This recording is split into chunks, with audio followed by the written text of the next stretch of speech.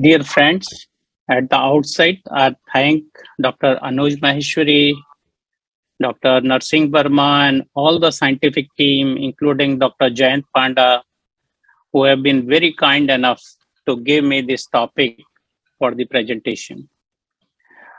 Dear friends, what I'll be speaking today is very, very important topic pertinent to this COVID-19 era.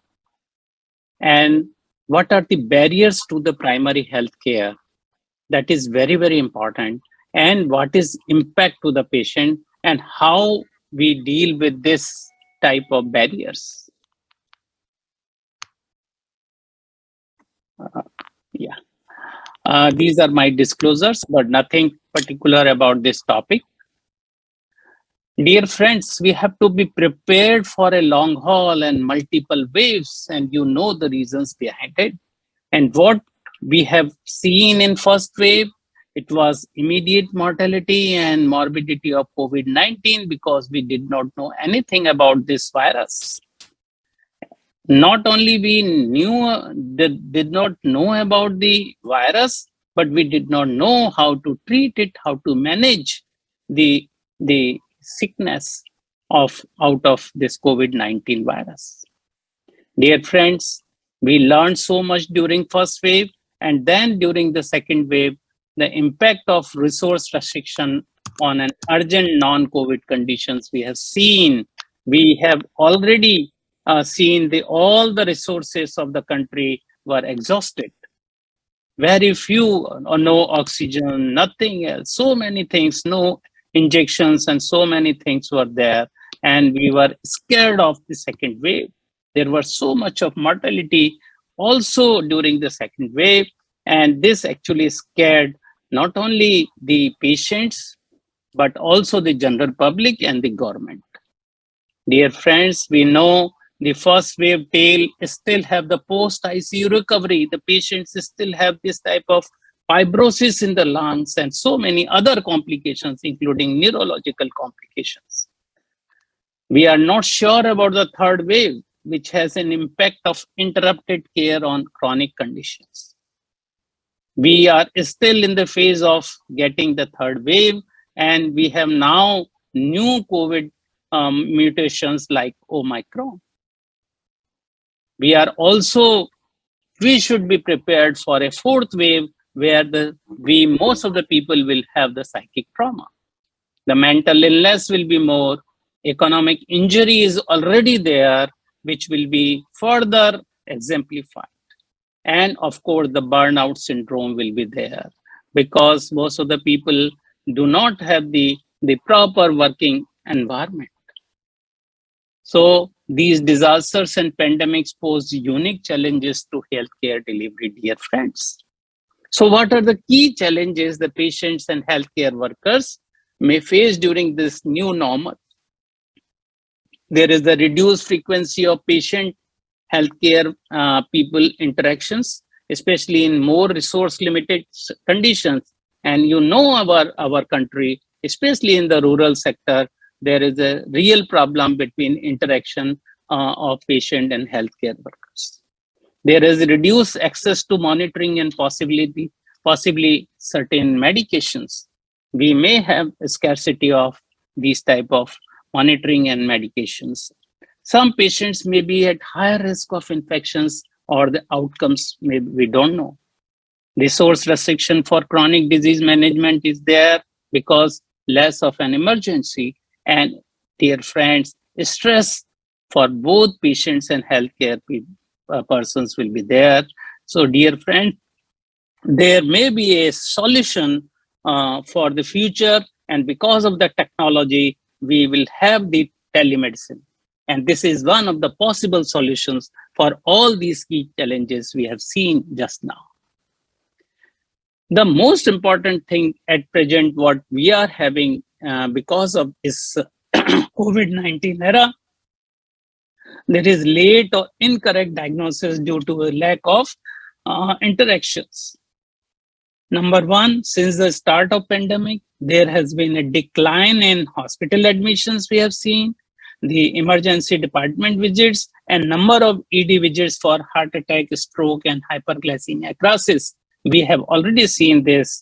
And many delayed care due to stay-at-home orders, the temporary closure of most of the health facilities, and fear of contracting COVID-19. That's why the patients do not move even for their some of the less serious problems. So this delayed diagnosis and delay in care because of the new condition and worsening of chronic condition meant patients presented to uh, care seeker. So they have delayed diagnosis. Not only the delayed surgical care, most of the surgeons have actually halted the elective surgeries to increase the patient inpatient beds for possible surge. That's why for caregivers of the adults at increased risk of COVID-19, the concerns about exposure uh, of rare recipients might contribute to care avoidance. So this late presentation or avoidance of healthcare persons visit and because of the fear of COVID-19, the avoidance of emergency and urgent care higher in the patients with two or more underlying medical conditions. They are unpaid caregivers, the Black and Hispanic adults, persons with disabilities, the person with health insurance, aged uh, adults of 18 to 24 years. And this is already published uh, last year. So as of June 30, 40% of US adults had delayed or avoided medical care due to uh, concerns about the COVID 19. So, what is the impact of this decline in diagnostic services and the written prescriptions? Number one, the patients missing routine care, vaccination, and filling or refilling prescription. Number one. Another is possible misdiagnosis due to diagnostics not being performed patients with chronic disease being uh, not being adequately managed and inability to widely test for COVID-19 due to lack of tests. So misdiagnosis based on lack of information because we are not sure about the audio calls, unable to assess the patient sign and sign of the distress. We can never see the di real distress, unable to assess wounds and skin lesions, unable to get diagnostics. Patients are not comfortable uh, providing all details over phone or video call, and they are unable to include family informations as many clinics limited family members. So this patient population positively impacted on the increased use of telemedicine. Dear friends, there are certain positives of the telemedicines because of the patients with disability. It is a boon for them patients with COVID-19 like symptoms who could be uh, assessed on camera. The quarantine patients can be well, I mean, treated on the telemedicine. Patients who are concerned about being exposed to COVID-19, they are also good for them and travel and transportation reduces. Patients with a condition that prevents them from leaving their home also being addressed by the telemedicine. So the telehealth adoption barriers are still there because most of the patient and still if you see the indian conditions the patients who are not tech savvy this is not a good for them. Areas with poor connectivity you know that internet is not available even up to the the last rural areas of our country. Isolated seniors who do not have the caregivers also not good for them because also they cannot operate the the video calls or audio calls. Another thing is homelessness and low income patients without access to devices and connectivity and they have to pay a hefty amount.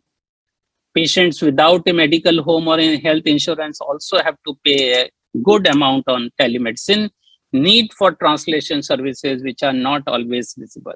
So dear friends we have the benefits of telemedicine and we have also the barriers for the primary health care people the benefits we have already seen that they could still see their patients while clinics were closed, less exposure for workforce.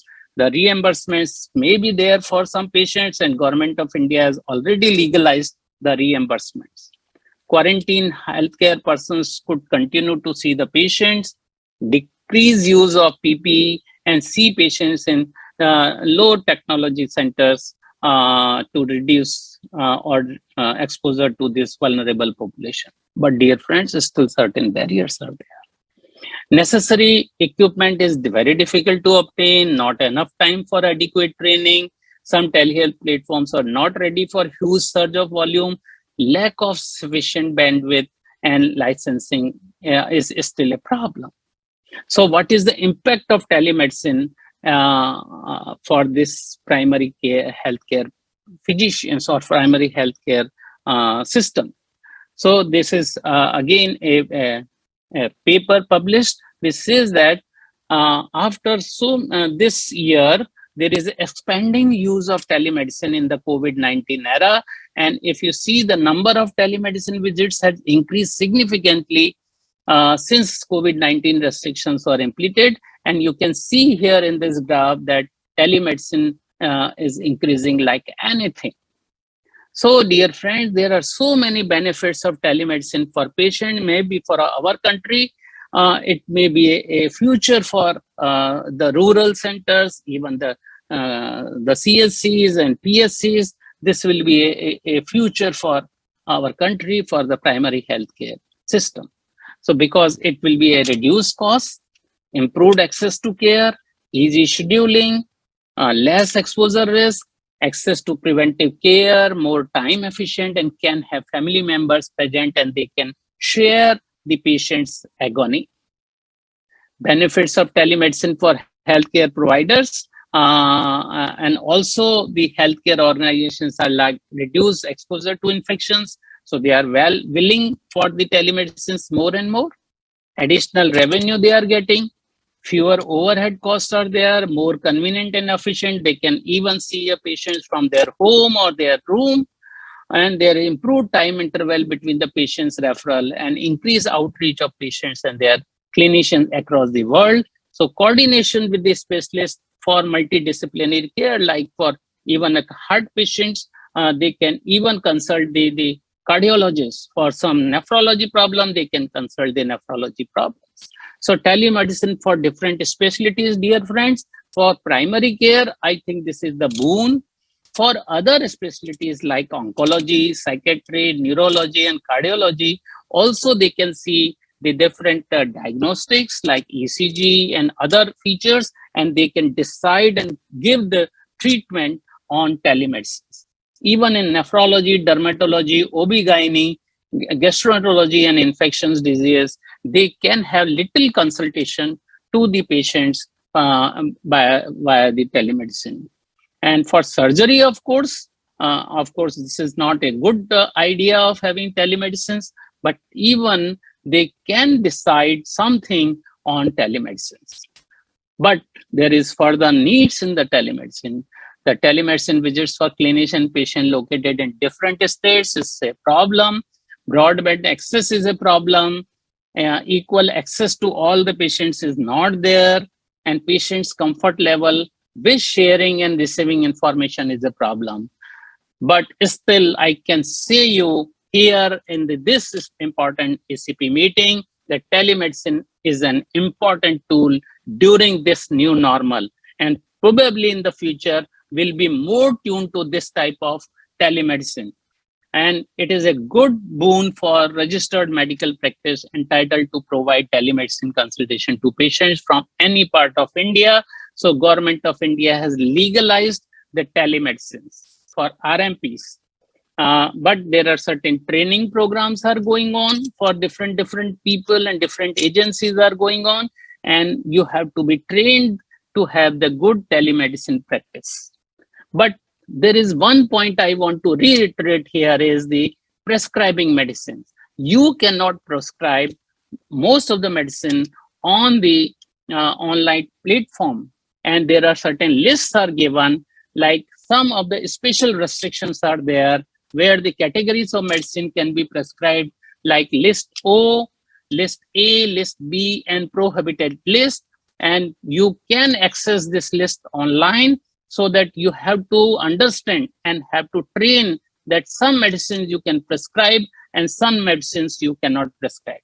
And for example, like list A, follow-up medications for chronic illnesses or for refill or any mode of consultation such as medication for hypertension, for diabetes, metformin, glibenclamide, etc., and asthma, salmeterol, inhalers can be prescribed very well by the, any RMPs. And on follow-up, medications can be prescribed and add on again on these particular medications. But what could be the sum of the key characteristics of medications used for remote consultation? So there is minimum or no impact on possible infections. Number one, easy sick day management you can do. Easy doses regimen can be seen. Minimum drug interactions and drug metabolisms are there well tolerated by most of the patients and few adverse events that may require emergency care. Efficacy in the broadest range of the patients irrespective of background comorbidities and there is minimum secondary care is there. So dear friends i have to summarize here that in this covid-19 era there are certain challenges we have already uh, seen and we have to overcome these challenges by many, many things. And telemedicine is one of the important uh, uh, technology by which we can actually remedy uh, remedies this uh, remedy of this type of challenges how to give the care during this covid-19 era especially now we are actually fo uh, focusing on this new variant probably we don't know what is the future of the lockdowns or any, whether any lockdowns are there or not, but still we have to consider the telemedicine as one of the remedy for the key challenges uh, by the healthcare system in our country. Uh, thank you very much for